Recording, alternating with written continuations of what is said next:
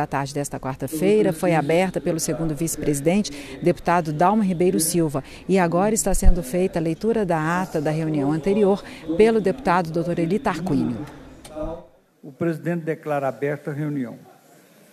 É, o deputado Carlos Pimenta, segundo tesoureira DOC, procede à leitura da ata da reunião anterior, que é aprovada sem restrições. Não havendo correspondência a ser lida, a presidência passa a receber proposições e a conceder a palavra aos oradores inscritos para o grande expediente, quando lhes são encaminhados o projeto de lei número 5.441-2018, os requerimentos números 11.589 e 11.590-2018, e comunicações das comissões de Segurança Pública, de Transporte e de Saúde e do deputado Tito Torres. Proferem discursos os deputados Antônio Carlos Arantes, Sargento Rodrigues, João Leite, Cristiano Silveira e Rogério Correia. Não havendo outros oradores inscritos, passa-se a segunda parte da reunião em sua primeira fase, momento em que vem à mesa acordo de líderes em que a totalidade dos líderes com assento nesta casa delibera que seja prorrogada até o próximo dia 26, 27 de novembro o prazo para recebimento de emendas aos projetos de leis números 5.404 e 5.406 2018, após o que o presidente profere decisão, acolhendo e determinando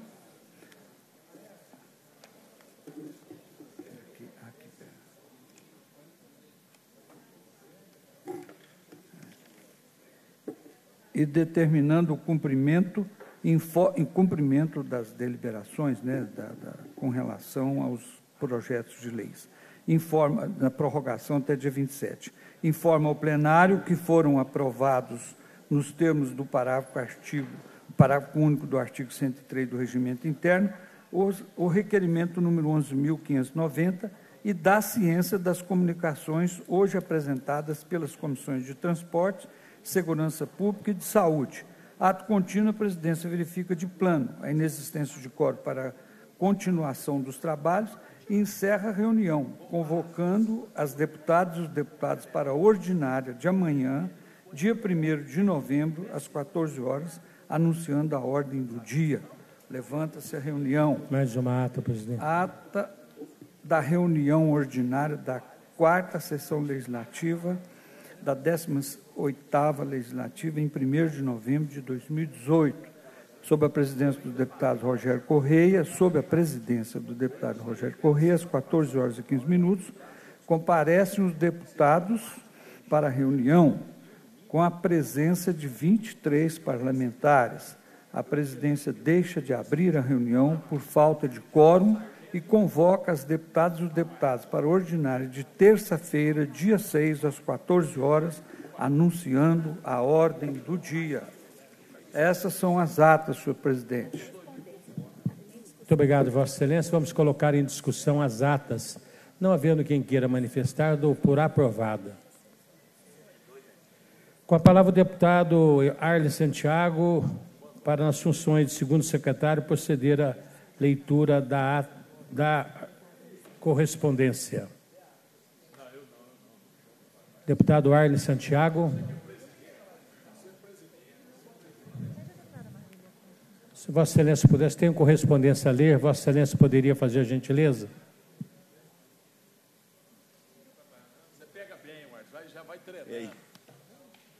Príncipe. Cláudio, tá bom?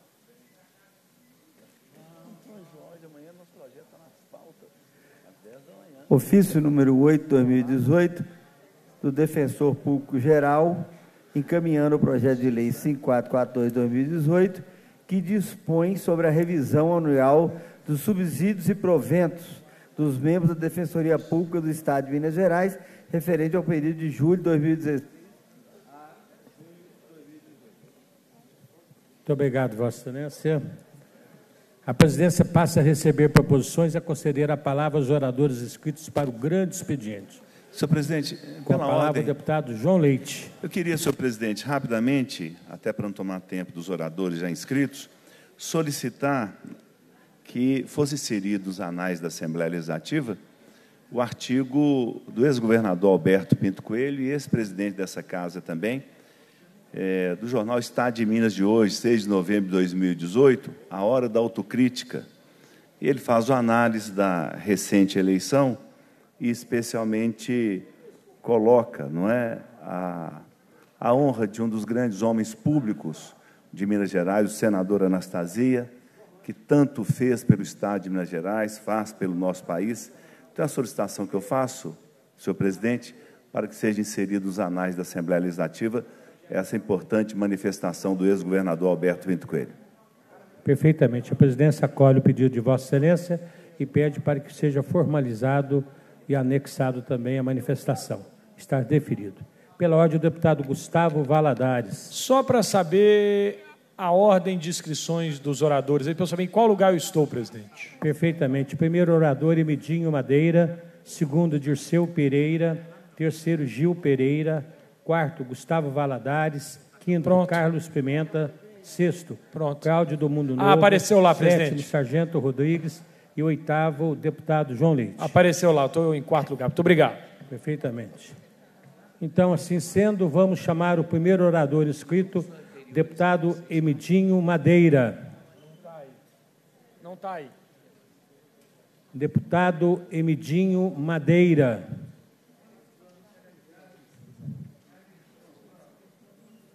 Na sua ausência, o deputado Dirceu Ribeiro. Deputado Dirceu Ribeiro. Na sua ausência, o deputado Gil Pereira. Deputado Gil Pereira. Na sua ausência, o deputado Gustavo Valadares.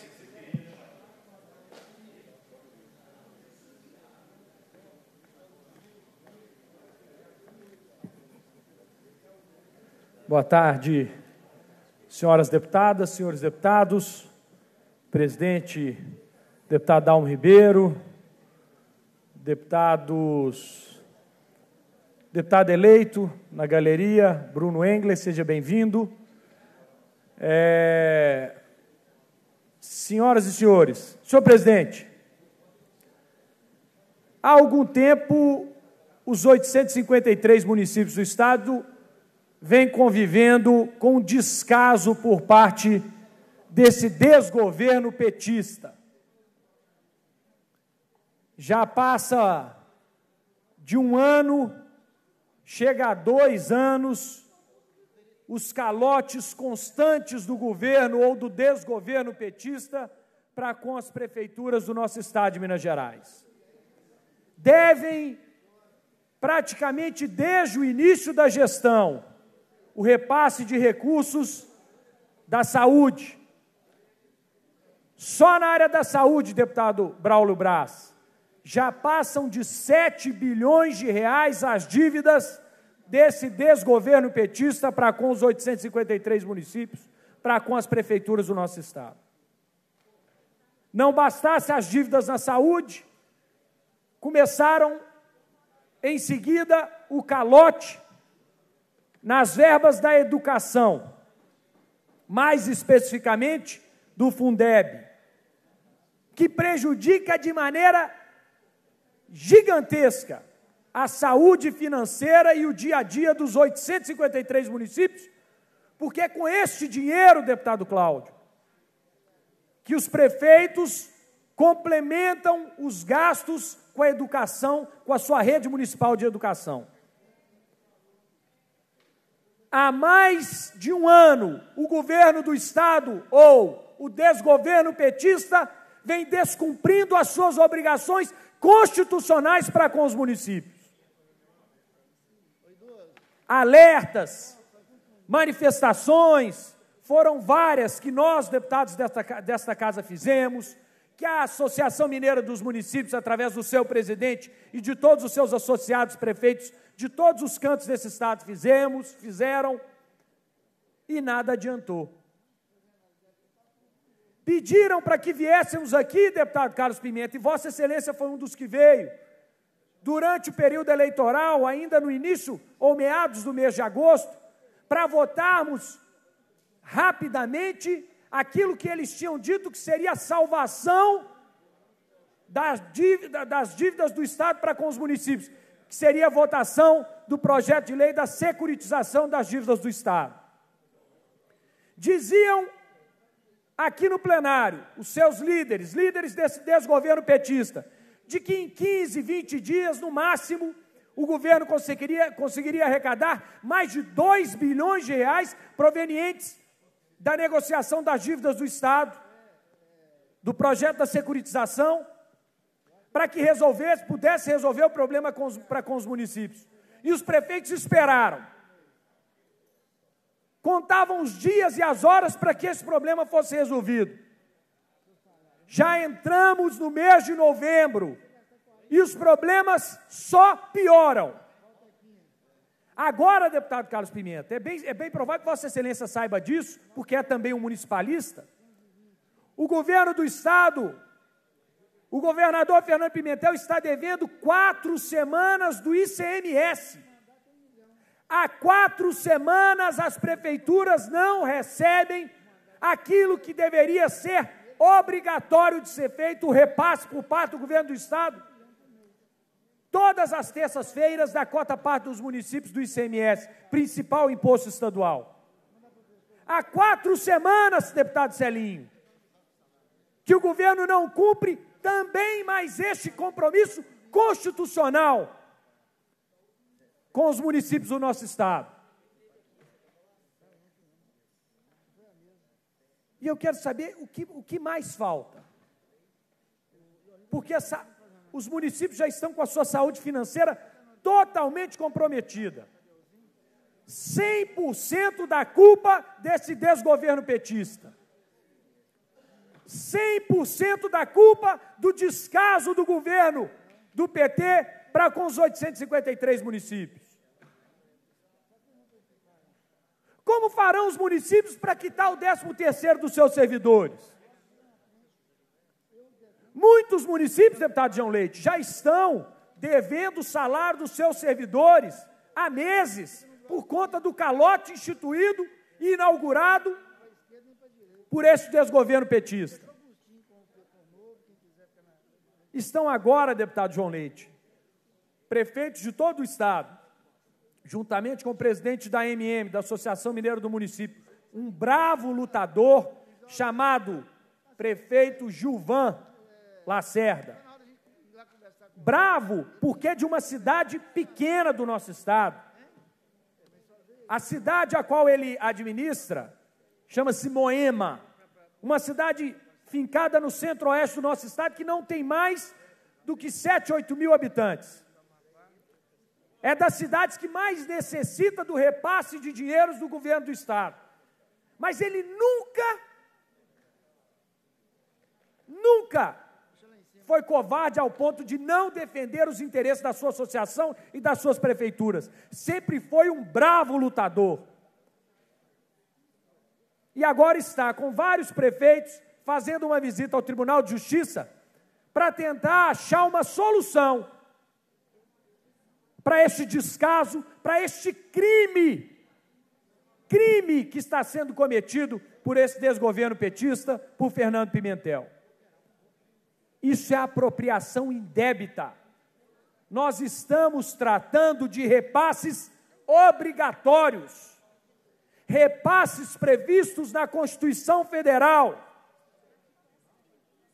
Algo que tem que ser feito de maneira compulsória, obrigatória. aonde vamos chegar? Quatro semanas, deputado Antônio Casarantes. Quatro semanas sem que o governo do Estado pague e repasse a cota parte do ICMS às prefeituras. Como é que se administra um município? Já com dívidas passando de os menores municípios de um, quase dois milhões de reais que o Estado tem para com elas.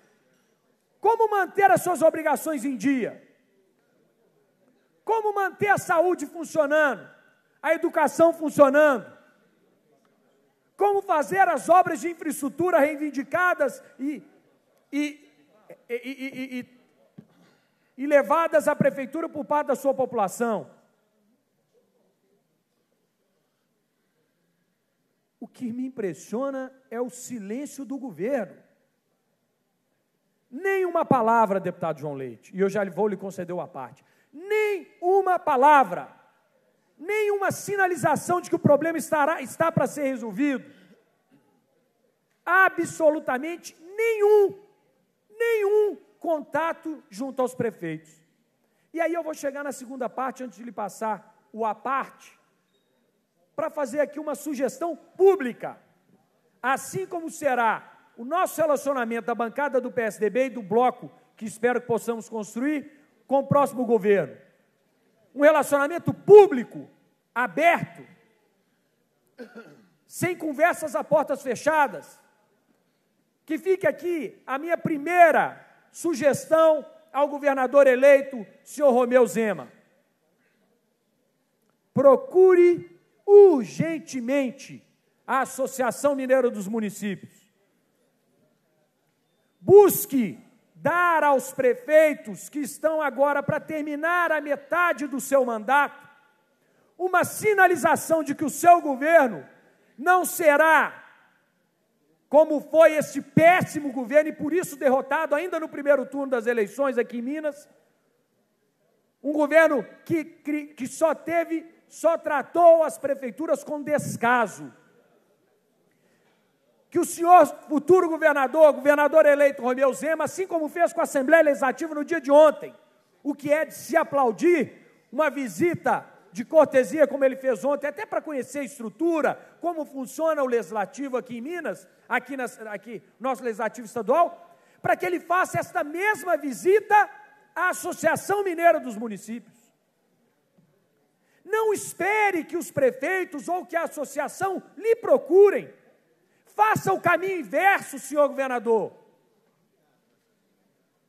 Senhor governador eleito, mostre a sua disposição em estar ao lado das prefeituras durante os quatro anos de seu governo. Faça uma visita à Associação Mineira de Municípios. A sede da associação é muito próxima aqui da Assembleia, aqui na Avenida Raja Gabaglia, em frente ao Clube Círculo Militar. Não espere para que os prefeitos reivindiquem uma agenda ao senhor. Faça o senhor a reivindicação de uma agenda aos prefeitos.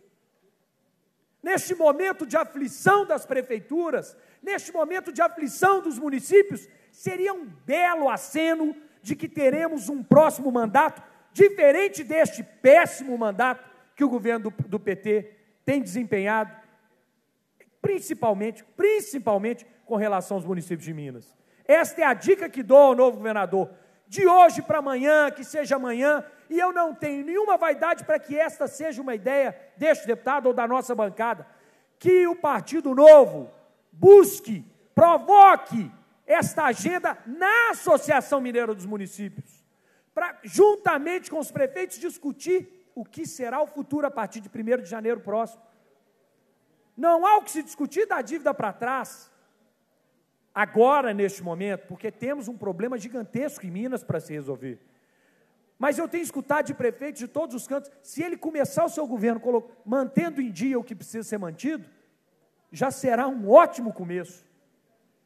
E esta é a sugestão que dou. Concedo uma parte ao deputado João Leite. Obrigado, deputado Valadares. Encerrada as eleições, a sua voz é ouvida ainda aqui nesse plenário, fazendo oposição a esse governo. Não mudou nada. Nós pensamos a mesma coisa. Nós esperamos é que os órgãos que devem fazer toda o acompanhamento das gestões no estado tenham atenção para esse desastre que foi este governo e que desequilibrou o Estado de Minas Gerais, em todos os sentidos. Ao não atender os municípios, a saúde dos municípios, o transporte escolar dos municípios, a segurança dos municípios, nós temos um desequilíbrio. Depois, ao não atender emendas parlamentares que vão para diversos municípios, os municípios da sua base, os prefeitos não foram atendidos por suas emendas. Os prefeitos que eu apoio de municípios que estão em Minas Gerais, o PT nos perseguiu, não a nós, mas perseguiu o povo dos municípios que nós somos votados. Há um desequilíbrio no Estado, é algo inaceitável. Quer dizer, nós tínhamos aqui deputados, classe A, que recebem o recurso do governo para os seus municípios, e os deputados classe Z, aqueles que faziam oposição em nome da população de Minas Gerais e que seus municípios não recebiam. Um governo mesquinho, mas mais do que isso, um governo que desequilibrou o Estado de Minas Gerais, desequilibrou a harmonia do Estado de Minas Gerais, deixou a nossa população sem atendimento na segurança, com caixas eletrônicos, bancos sendo explodidos em todos os lugares. Nós tivemos algo assim impensável. Enquanto no governo do PSDB nós tivemos um grande crescimento da população carcerária, no governo do PT ficou estagnado. Não houve prisões de criminosos e a população toda de Minas Gerais sujeita a essa criminalidade. Parabéns, Vossa Excelência está rigorosamente no mesmo lugar onde esteve nesses três anos e tanto, na oposição e em defesa da população de Minas Gerais e dos nossos municípios. Muito obrigado, deputado João Leite. Para terminar, senhor presidente, faltam 55 segundos. Senhor governador eleito Romeu Zema, aqui vai a primeira dica do nosso partido, da social-democracia brasileira, aos, à sua gestão, à sua atuação à frente do governo do Estado. Provoque o Senhor uma agenda junto à Associação Mineira dos Municípios. Não espere ser provocado para receber os prefeitos são prefeitos dos quatro cantos de Minas que estão com dificuldade de manter os seus municípios funcionando em dia por conta do calote instituído, inaugurado por esse desgoverno petista. Mostre, demonstre respeito para com os cidadãos, os munícipes de todo o nosso estado de Minas Gerais, provocando o senhor, governador eleito, uma agenda na Associação Mineira de Municípios, para dizer a eles, ou apenas demonstrar com a sua boa vontade, a disposição de, a partir de 1 de janeiro próximo, termos uma nova relação entre o governo do Estado de Minas Gerais e os municípios do nosso Estado. Muito obrigado, presidente. Obrigado, Vossa Excelência. Com a palavra, o deputado Carlos Pimenta.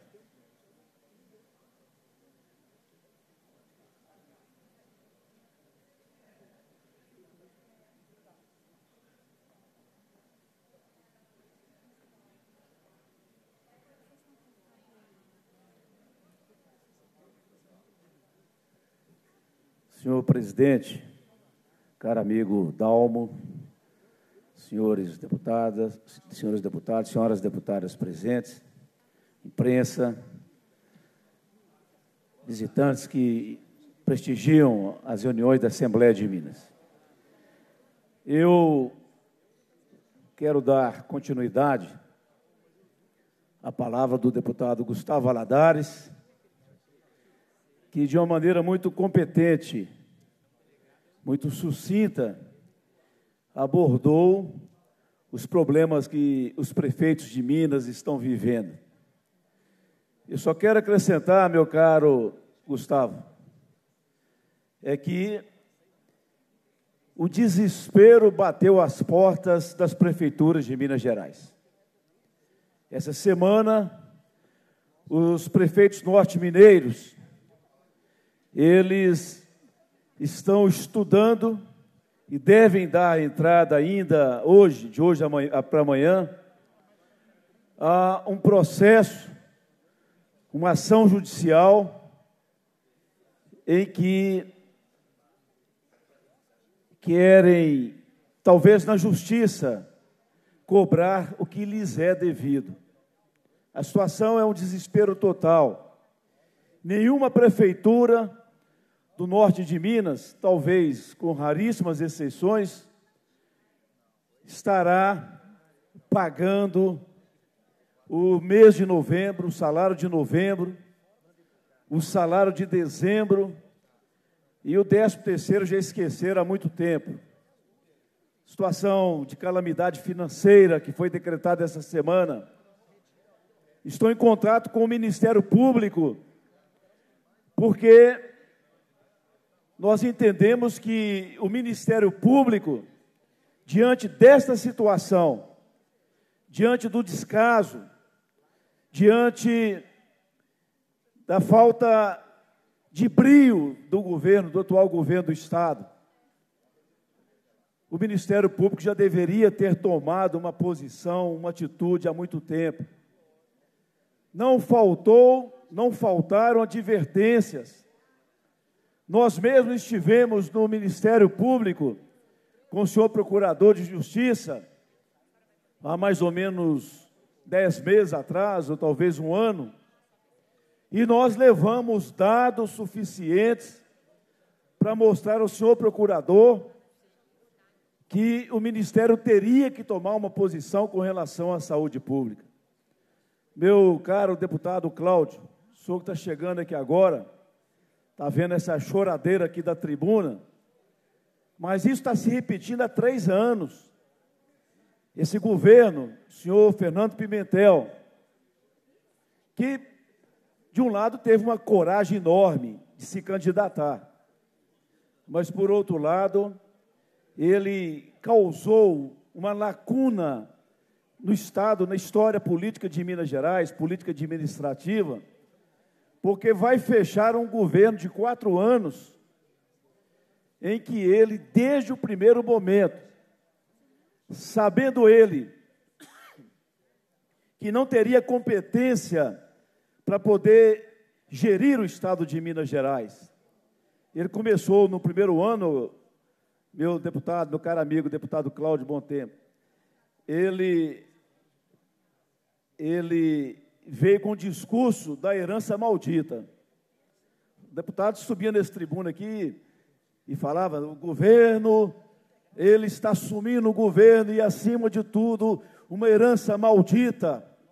Essa herança maldita encheu o saco aqui do, desse plenário, senhores deputados. E não chegava com dados para mostrar que herança maldita era essa. Só falava que foi herdada uma herança, é uma herança maldita, e as coisas foi começando a tomar forma.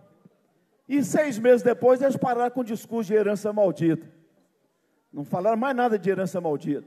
Falava do choque de gestão do governo Anastasia, do governo do governo Aécio, né? usando é, uma figura teatral, uma personagem teatral, bem desenvolvida, bem interpretada pelo deputado Rogério Correia, e falava o choque de gestão arrebentou com Minas Gerais, deixando a herança maldita. Na verdade, era tudo incompetência, tudo premeditado. Nada me tira da cabeça de que foram ações ou desações premeditadas deste governo que botou os municípios de quatro, genuflexo, com o pires nas mãos, pedindo apoio e pedindo apenas o que é devido. Não pedia mais nada do que negócio de, de emenda, isso é bobagem. As nossas emendas não foram pagas, nenhuma delas foram pagas, foi paga.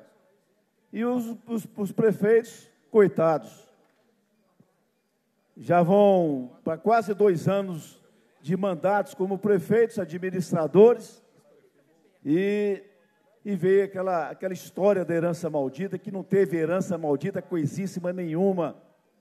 Por várias vezes, essa casa, os senhores deputados, deste plenário, nas comissões, principalmente na comissão de fiscalização financeira, que é uma comissão que deveria estar olhando a questão do Estado, as finanças do Estado, nada passava na comissão de fiscalização financeira.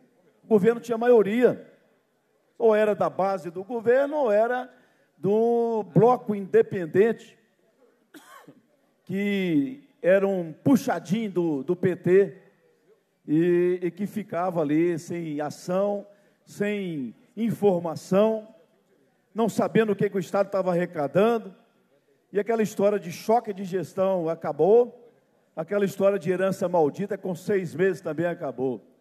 E depois veio o desastre econômico de Minas Gerais. Eu estou falando assim, mas quem conversa com os senhores prefeitos, e eu vejo aqui deputados municipalistas que têm ligação com prefeitos, quem conversa com os prefeitos, sabem perfeitamente o caos, o desastre, a situação de calamidade que se encontram hoje as prefeituras de Minas Gerais. E essa casa teve uma parcela, assim, de, de culpa nesse sofrimento que passam os senhores prefeitos. Porque houve, ocorreu aqui, da maioria dos deputados, um grande silêncio.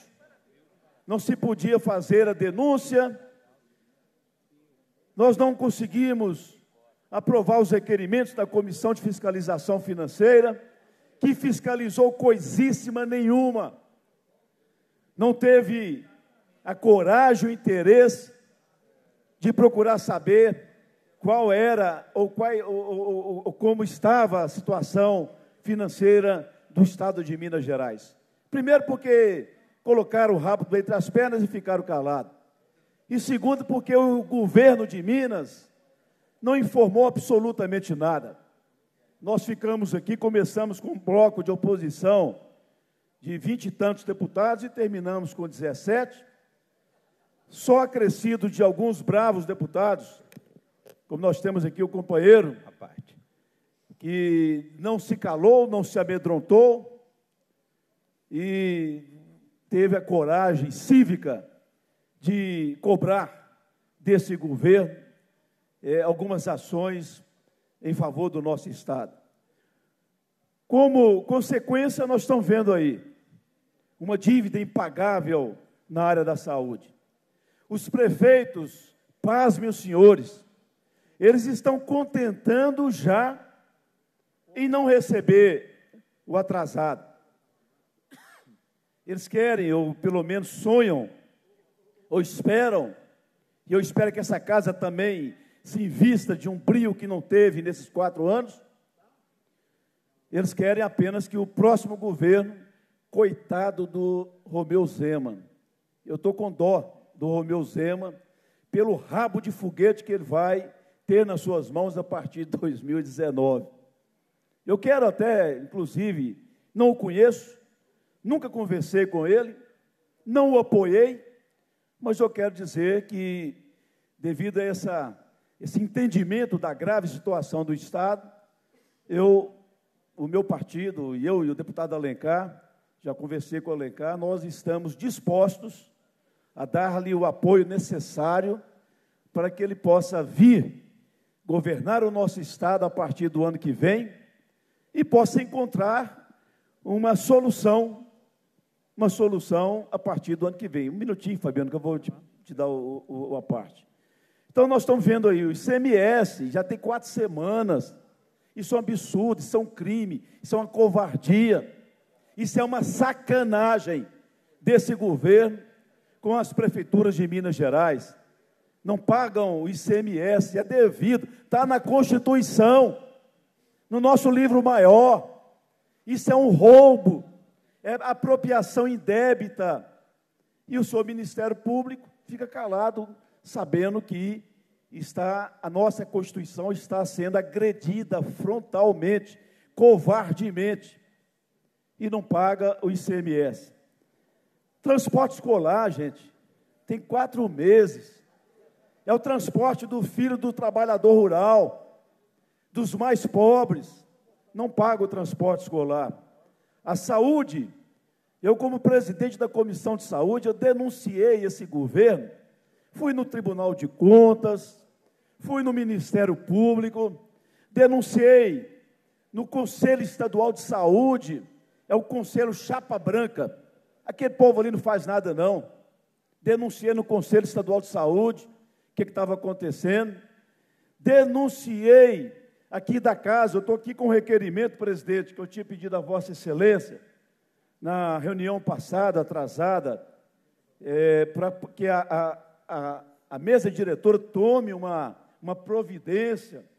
Nós vamos entregar ao governo, o senhor Romeu Zema vai receber o governo de Minas com mais de 5 bilhões de atraso de não pagamento na área da saúde às prefeituras. Os Coitados dos hospitais estão sendo obrigado a tomar empréstimos com juros bancários caríssimos. Está aqui o requerimento, presidente, que eu vou passar a mão de Vossa Excelência, para que o senhor possa nos, nos dar uma orientação do que fazer até o final do ano a Comissão de Saúde. Xingar não adianta mais. Chamar de contraventores não adianta mais. De fora da lei não adianta mais. Fazer apelo ao Tribunal de Contas não adianta mais. Então eu queria que a mesa diretora pudesse nos respaldar. Quem sabe a mesa diretora possa encontrar uma forma né, de entrar em contato com outro poder, mas o poder de gente séria, que é o poder judiciário, e possa encontrar uma solução. Está aqui a denúncia e a solicitação da Comissão de Saúde. Eu queria. É, nós temos dois minutos. Fabiano, um minuto, porque eu tenho um outro assunto a ser tratado. Primeiramente, parabenizar Vossa Excelência, uma fala corajosa, né, no momento do pós-eleição. O pessoal ainda meio sem saber o que está acontecendo, mas na verdade é isso mesmo, é o caos total. Nós chegamos no abismo. Em Divinópolis, deputado Carlos Pimenta, a dívida do Estado para com o município são 94 milhões de reais. Hoje parou, parou tudo. Não é culpa do prefeito Galileu. Né? A culpa é do Estado de Minas Gerais, do seu governador, que não paga. Deveria estar na cadeia, deveria ser preso. Isso é apropriação indébita. Está matando os municípios. E nós moramos, senhor presidente, é no município. Então, essa casa deveria de parar, ir lá para a cidade administrativa. Enquanto não restabelecer esses pagamentos que são constitucionais, nós não poderíamos vincar nenhum, nenhum momento. Está lá porque infelizmente nós todos moramos no município e os municípios estão quebrados, porque o governo não cumpre as suas obrigações, mínima das obrigações, que é passar aquilo que a Constituição prevê. Então, é realmente um grande absurdo. Eu fico abismado em saber que o governador tem essa concepção da, de gestão pública de zero, um desgoverno total. E parabéns, deputado Carlos Pimenta. Divinópolis também sofre com esse mesmo problema, assim como todas as cidades do estado de Minas Gerais. Aqui um absurdo. Os deputados todos recebendo suas emendas, senhor presidente, e esquece de olhar o governo, esquece de olhar as formas que esse governo faz. Isso não pode mais, nós não podemos mais conceber. Nós temos que trabalhar com essa função e com esse olhar. Parabéns, deputado. Muito Tamo obrigado, aí, muito obrigado pela parte. Não poderia esperar de Vossa Excelência outra posição a não ser essa. Mas, presidente, eu queria falar também do calote das empresas aéreas que estão aí cobrando passagens exorbitantes da população, mas eu queria, nesse minuto que me resta, presidente, fazer a leitura do, do requerimento que o senhor estará recebendo neste momento. Excelentíssimo senhor presidente da Assembleia Legislativa de Minas Gerais, é, o deputado que subscreve, considerando que o parágrafo 1 do artigo 1 da Lei 22.914, de 12, 12 de janeiro de 2018, com a redação conferida pela Lei 23.090, de 21 de agosto de 2018, dispõe que 70% dos recursos arrecadados com a cessão de direitos creditórios originados de créditos tributários e não tributários do Estado de Minas Gerais são destinados aos municípios mineiros, considerando que o governo do Estado, em declarações feitas perante representantes da Associação Mineira de Municípios, no dia 21 de agosto de 2018, afirmou que iria entregar a nossa carteira da dívida ativa para uma instituição financeira e receber à vista, isso deve gerar em torno de um bilhão a um bilhão e meio para atualizar os repasses com os municípios, considerando que a Secretaria de Estado da Fazenda conforme comunicação publicada no Diário Executivo do dia 27 de setembro,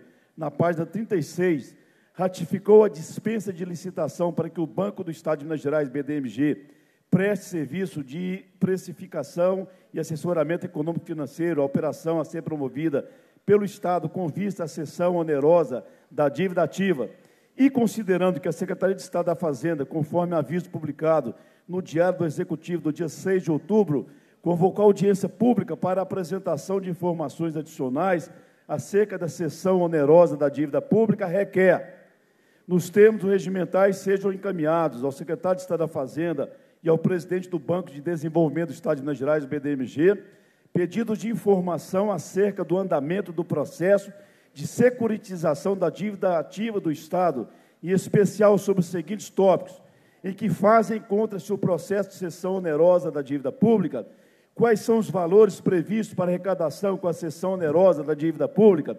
Qual é a perspectiva para a fiscal...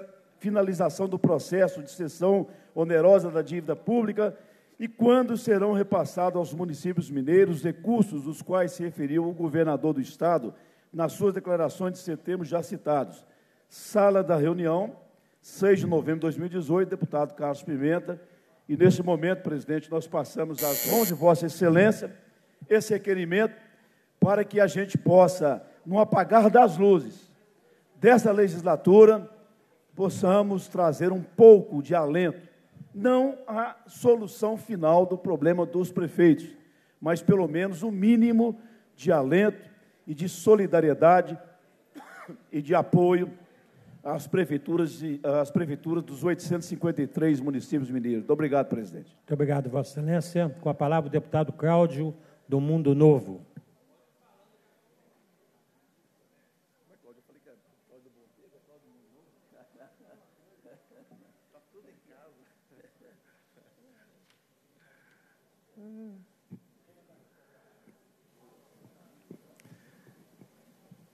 Excelentíssimo senhor deputado Dalmo Ribeiro, amigo querido, Obrigado. aos telespectadores da TV Assembleia, aos amigos da galeria, e aqui eu cumprimento meu amigo Eduardo Augusto, que foi candidato também, junto conosco aí, que Deus te abençoe, continue nessa luta, meu irmão. Senhores deputados, senhoras deputadas, eu venho aqui poder falar um pouquinho do, do que eu já fiz aí nesses 20 dias de mandato, né? Aqui nessa casa e fora. E também fazer um apelo a vocês pela nossa saúde pública no estado de Minas Gerais e também pelas nossas comunidades terapêuticas. Nesses 20 dias que estou aqui nessa casa, né, já aprendi muito ouvindo e já aprendi muito também no campo de trabalho. Nos 700 municípios que me deram a graça da votação, né, me deram 30 mil votos, já fui lá em Nanuque visitar as bases que tenho lá, conversar com o povo de lá, que me deram a, a segunda maior votação, né? E pude ver como que o povo está com sede de mudanças, com sede de fazer uma política nova. E também pude visitar vários hospitais filantrópicos, e aí aqui eu peço atenção aos deputados e às deputadas para ver a situação do Hospital Mário Pena, que é um hospital que atende tantas pessoas, não só de Belo Horizonte, como de vários municípios aqui da nossa querida Minas Gerais. Então, eu estive lá conversando com eles, estão precisando do mais, mais importante, que é os insumos, material de trabalho simples, que nós podemos ajudar. Então, nesse momento aí de estudo das emendas, por favor, olhem para os hospitais filantrópicos, para as santas casas, que precisam muito da nossa ajuda, do nosso olhar. Nós estamos aqui para isso para dar atenção à saúde pública. Então, por favor, verifique também se há uma possibilidade de vocês ajudarem as santas casas. Aqui eu falo de Belo Horizonte, mas claro, de Minas. Nós precisamos atender e ajudar a saúde pública de Minas Gerais. E também quero falar um pouquinho sobre o nosso trabalho, que é um trabalho direcionado às comunidades terapêuticas, defendendo aqui as comunidades terapêuticas, ou seja, as comunidades terapêuticas têm sofrido muito, sofrido muito porque o governo muitas vezes não dá atenção ao trabalho que eles é, executam com tanto vigor, com tanta força, para poder tirar tantas pessoas que estão na drogadição, no alcoolismo, que estão morrendo aí nos cantos de Minas Gerais. E são tantas comunidades terapêuticas que nós temos que é um, um momento é, oportuno de nós ajudarmos. Ontem esteve reunido aqui um grupo de trabalhos do PPAG, discutindo, senhor presidente, exatamente o valor que foi repassado para as comunidades terapêuticas para ajudá-las ano passado e o valor que foi já é, é, estão estudando para esse ano. Ou seja, não tem como elas sobreviverem. Não existe como elas ficarem é, é, vivas, né? permanecerem vivas, ajudando, acolhendo as pessoas, tratando as pessoas que precisam. Então, eu quero pedir, fazer esse apelo aqui, para que os senhores deputados, senhoras deputadas, nessa discussão do PPAG, por favor, tenham um olhar para as comunidades terapêuticas que precisam tanto da nossa ajuda. Nós que defendemos muito essa causa, tanto eu como o deputado federal Eros Biondini, que é um grande defensor das comunidades terapêuticas, das APACs, né, das Santas Casas. Eu quero aqui também dizer que eu também sou um defensor e quero estar junto com eles, quero ajudá-los em tudo que eu puder. Nesses três meses que me restam aí de mandato, se Deus quiser, né? Eu quero fazer muito para ajudá-las, muito para contribuir para as comunidades terapêuticas. Uma parte. uma parte. Deputado Elismar Prado, meu partido, meu amigo. Que Deus te abençoe, viu, Elismar? Amém. Obrigado, deputado Cláudio do Mundo Novo. É um orgulho te partir aqui. É você mostrando ao que veio. Quero parabenizar pela posse aqui nessa casa, pela sua trajetória de vida, de trabalho. E daí dessa tribuna, Vossa Excelência mostra realmente que tem todas as prerrogativas, né, para defender aí muito bem é, a população, né, o povo de Minas Gerais. Quero dizer a Vossa Excelência que é fundamental, realmente eu reconheço esse trabalho que você tem já nessa área, tanto em relação às santas casas, às comunidades terapêuticas, o trabalho do deputado Eros Biondino, que é um trabalho fantástico, né? que realmente faz uma obra bonita na vida de tantas pessoas. E o deputado Cláudio Mundo Novo falou uma coisa muito interessante né? sobre essas eleições, o sentimento da população. Uma boa parte da, do eleitorado optou realmente por mudanças, né? E eles atravessam um sentimento de muita expectativa. E a gente espera, Cláudio do Mundo Novo, que não haja decepções. Né? A gente não pode brincar com o sentimento da população. O povo está com muita razão, ansiando né, mudanças profundas, né, na, na sociedade como um todo, mas principalmente na atuação Obrigado. dos seus representantes.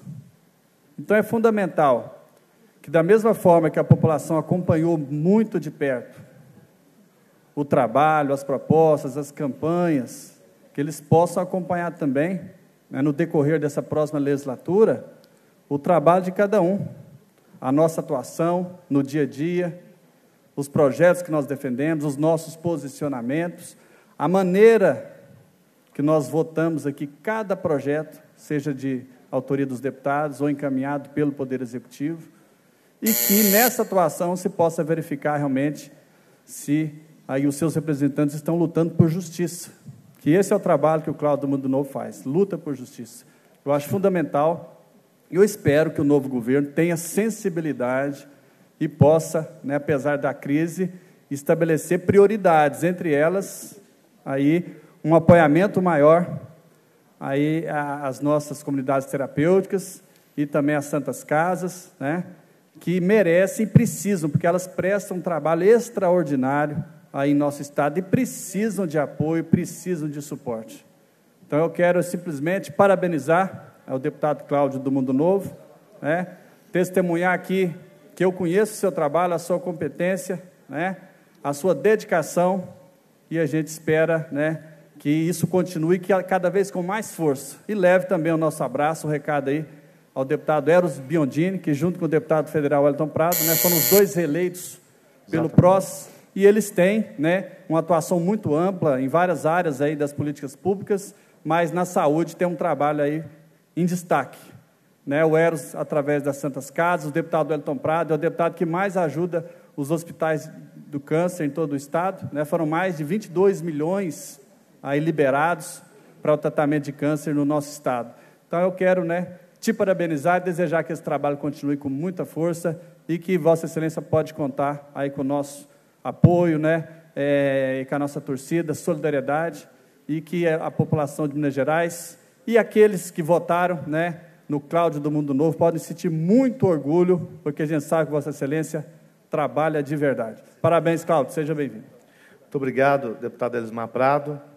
Eu queria aproveitar que o, que o excelentíssimo deputado João Leite chegou aqui e citar aqui uma palavra de Deus. Nós que gostamos da palavra de Deus, no Evangelho de São Lucas, no capítulo 5, Jesus fala sobre a pesca milagrosa. E aí, que, que acontece? Pedro e seus discípulos estavam ali, na parte da manhã, tristes, cabisbaixo, porque eram excelentes pescadores, eram homens que sabiam onde o peixe estava, eram homens que acreditavam que o mar estava por conta deles. E aí então, eles não pescaram nada à noite, deputado João Leite, pescaram nada. Chegaram naquela praia triste. Aí vem Jesus. Aí vem Jesus e chama Pedro no cantinho e fala: Pedro, joga sua rede aqui do outro lado. Lá tem muito peixe. E Pedro então dá uma animada boa, chama os companheiros, fala: Jesus falou, vamos obedecer. E ele então se lança aonde Jesus disse e buscou muito peixe. E a rede, inclusive, até se rompia, porque era tanto peixe, peixe grande. Então eles ficaram felizes com Jesus. O que eu quero dizer isso? Muitas vezes a gente pensa que sabe, tem o poder na mão, está com toda a condição de fazê-lo e não consegue fazê-lo, não dá conta de fazê-lo, não sabe fazê-lo, porque muitas vezes está sem Deus no coração. Quando temos Deus no coração, as dificuldades são menores, porque Deus é maior. Os problemas são pequenos, porque Deus é maior que nossos problemas. Então eu quero aqui cumprimentar o governador eleito, o senhor Romeu Zema, que inclusive esteve aqui na nossa casa ontem visitando aqui a casa. Espero que ele faça isso várias vezes. Espero que ele venha aqui realmente é, conversar conosco e que nós juntos possamos construir uma Minas Gerais melhor para todos. Que Deus o abençoe, que Deus possa dar a ele força, sabedoria. E contem comigo para poder fazer um bom trabalho também junto, para que nós possamos fazer uma Minas Gerais melhor. Contem comigo para trabalhar bastante em prol das comunidades terapêuticas, das casas do câncer, tantas casas do câncer que eu tenho visitado aí, que precisam do auxílio, de ajuda, né? E aqui eu cito a Fundação Sara de Montes Claros, mas que tem também uma sede aqui em Belo Horizonte, que precisa de atenção e não só a Fundação Sara, mas várias casas que atendem pessoas com câncer, que precisam do mínimo.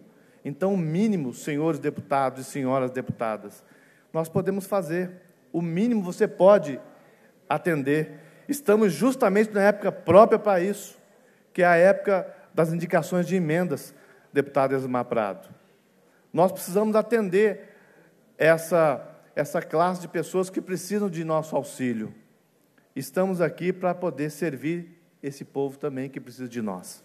E, é, voltando às comunidades terapêuticas, eu quero deixar aqui o meu apelo para todas elas para aquelas que mais precisam, inclusive, que têm nos pedido aí ajuda. Graças a Deus podemos, podemos ajudar muitas aí no ano passado. Muitas comunidades foram beneficiadas, mas ainda existe muitas que precisam de atenção, estão com risco de inclusive de fechar, porque não tem ajuda nenhuma. E hoje no governo nós temos a Subsecretaria de Política sobre Drogas, que precisa inclusive permanecer. Eu quero pedir isso ao governador Romeu Zema, para dar uma atenção maior à subsecretaria de política sobre drogas, a permanecer com essa secretaria, subsecretaria, para poder dar um atendimento a tantas comunidades que ajudam a população de Minas. E aí, várias delas estão aí é, pedindo o auxílio do governador. Né? A comunidade Reviver, a comunidade é, Magnífica, de Itaúna, enfim, tem tantas outras que precisam do auxílio de, da atenção do governo. Então, está aqui o meu pedido, está aqui os meus 20 dias aí como parlamentar, deputado Esmar Prado.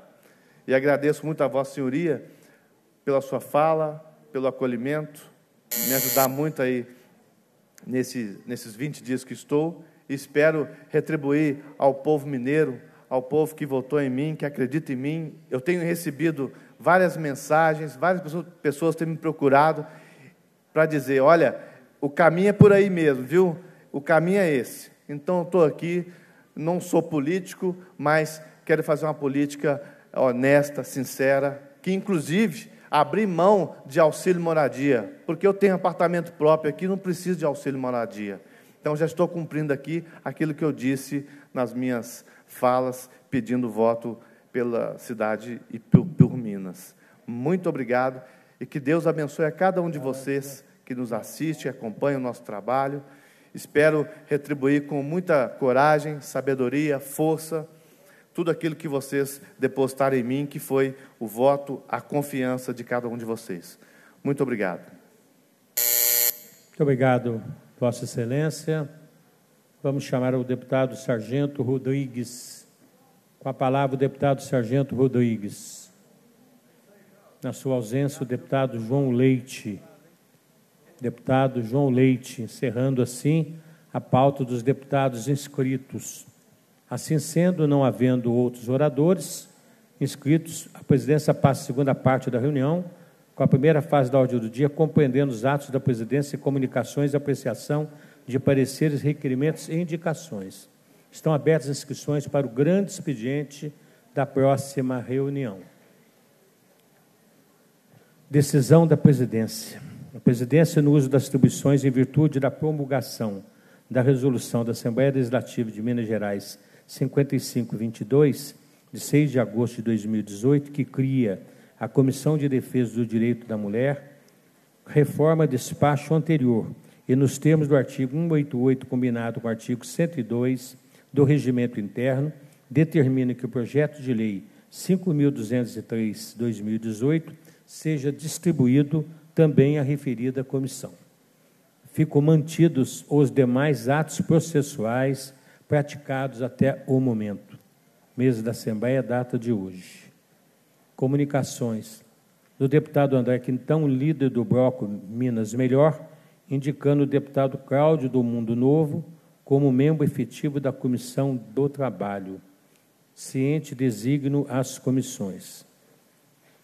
Comunicação da presidência. A presidência comunica que foram aprovados conclusivamente, nos termos do parágrafo único do artigo 103 do regimento interno os requerimentos 11.591 a 11.601, 11.606, 11.607, 11.609, 11.611, 2018 da Comissão de Segurança Pública, 11.613, 2018 da Comissão de Transporte.